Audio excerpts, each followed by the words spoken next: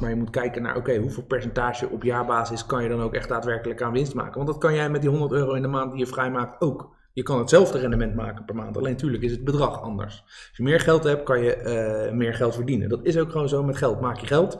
Maar ook met een klein beetje geld kan je geld maken. En dat kleine beetje wordt ook steeds meer. En dan op een gegeven moment, als je dat goed doet, ben jij daar ook een waarvan ze zeggen, ah, kijk eens, die buurman, met geld maak je maar- geld hoor.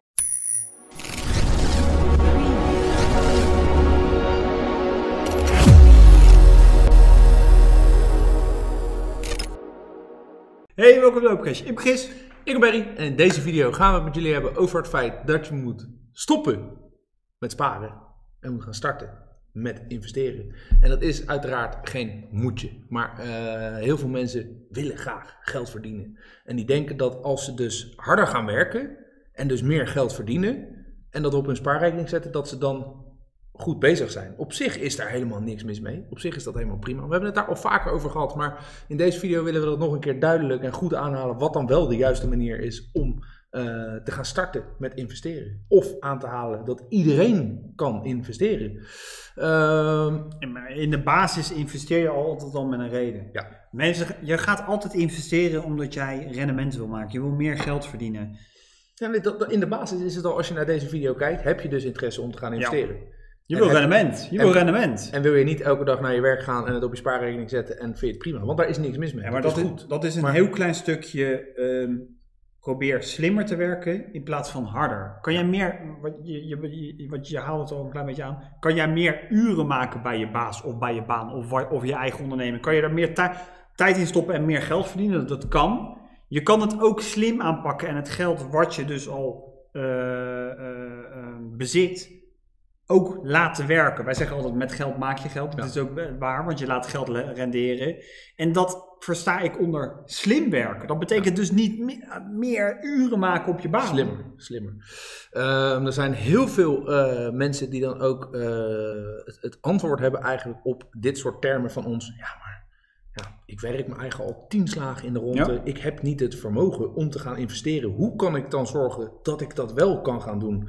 Nou, allereerst kan je gaan zorgen, hebben we ook al vaker gezegd, voor een extra cashflow. Zorg voor extra inkomsten, een extra inkomstenbron en gebruik dat om te investeren. Als dat ook geen optie is, er is geen optie, er is geen tijd meer. Eh, je zit thuis met kinderen. Je bent al eh 40, 50, 60 uur per week aan het werk en je kan daar niet meer aan doen. Eh, je moet ook op je voor je kinderen zorgen. Er is gewoon geen tijd over. Ook dan kan je gaan investeren. Hoe kan je dan gaan investeren? Je kan ervoor zorgen dat je alles wat jij moet betalen elke maand, dat je dat gaat herzien. Dat je gaat herzien, wat kost mijn autoverzekering? Wat kost mijn zorgverzekering? Eh, kan ik besparen op de boodschappen? Eh, je moet niet gaan sparen, je moet gaan besparen. Maar dat, dat, is een, en dat is een belangrijke fout die mensen maken. Wij zeggen bijvoorbeeld, cre- creëer een extra cashflow. Het dat is eigenlijk ook grappige, cashflow ja, maar het grappige, de cashflow is al aanwezig. Iedereen heeft cashflow. Er is altijd geldstroom. Want jij hebt een inkomen, je hebt een, van mijn part heb je zelfs een uitkering. Er is cashflow. Ja, er is altijd cashflow. En als jij er dus voor kan zorgen dat jij eh, van je, ja, wat zal de gemiddelde vaste last zijn in Nederland? Tussen de 1000 en 1500 euro of zo, iets in die ja. geest. Als jij daarvoor kan zorgen al dat je al, al zou het 100 euro zijn wat je vrij kan maken. 100 euro per maand wat je dus extra door dat besparen op jouw zorgverzekering, op jouw eh, telefoon, op jouw eh, boodschappen, noem het allemaal op. Daar moet je echt wel 100 euro kunnen besparen als je goed je best doet.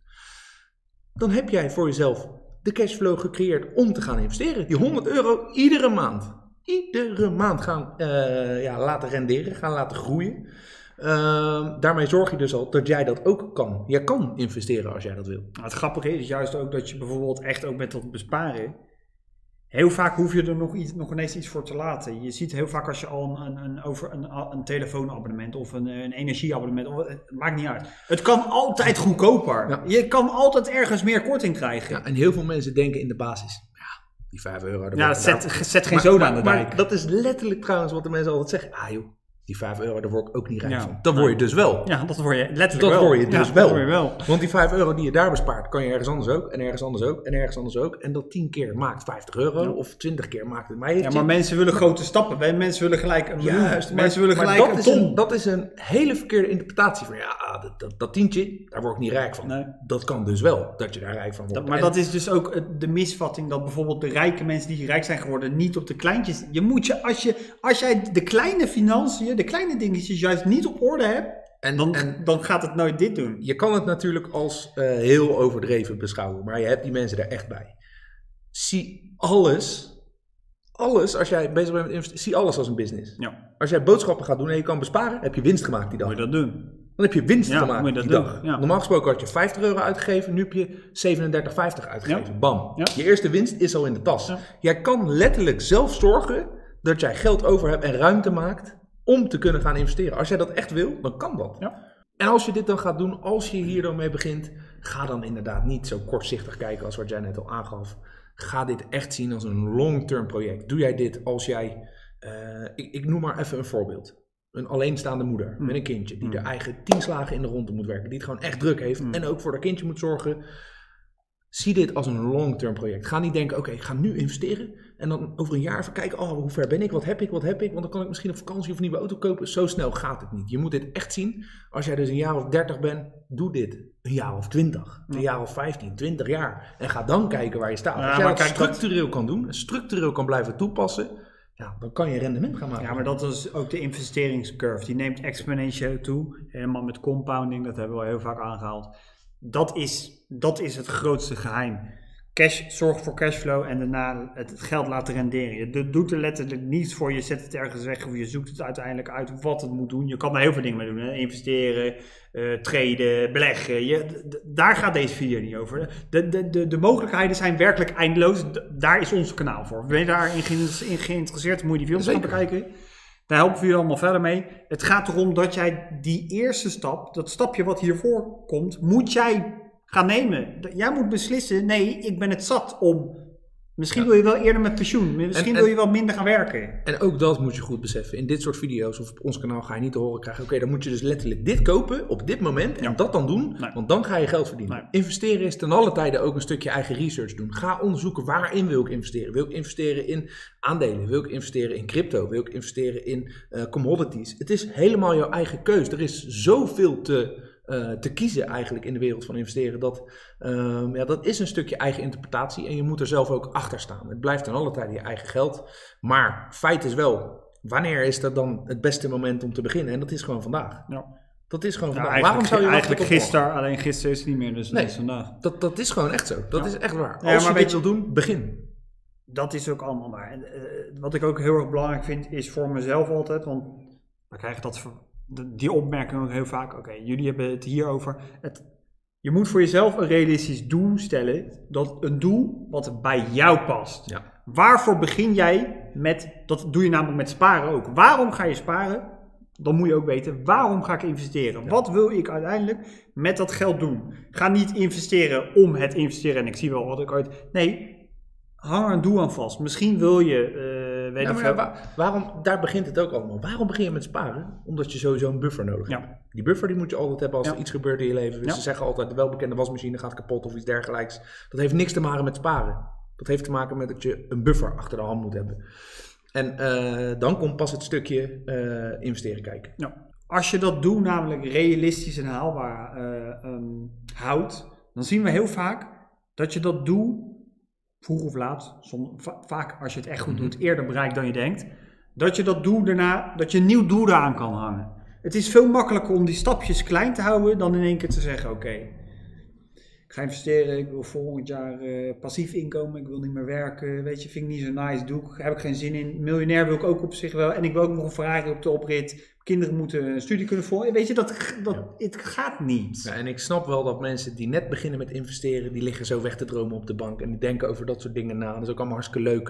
Maar het is niet echt realistisch. Zeker niet als je net begint. Eh, en ja, eh, wij laten ook gewoon letterlijk op ons kanaal zien hoe je dat voor jezelf kan doen. En hoe je dat kan laten groeien. En dan moet je niet kijken naar een bedrag wat er aanhangt. Maar je moet kijken naar, oké, hoeveel percentage op jaarbasis kan je dan ook echt daadwerkelijk aan winst maken. Want dat kan jij met die 100 euro in de maand die je vrijmaakt ook. Je kan hetzelfde rendement maken per maand. Alleen natuurlijk is het bedrag anders. Als je meer geld hebt, kan je eh, meer geld verdienen. Dat is ook gewoon zo. Met geld maak je geld.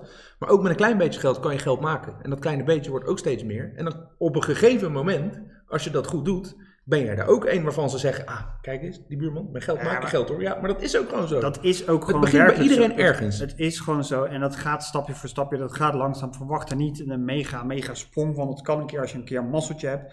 Maar dit zijn gewoon paar makkelijke tips. eh, als je gaat investeren of sparen, werkt, het, het is hetzelfde, alleen de allocatie van het geld is anders.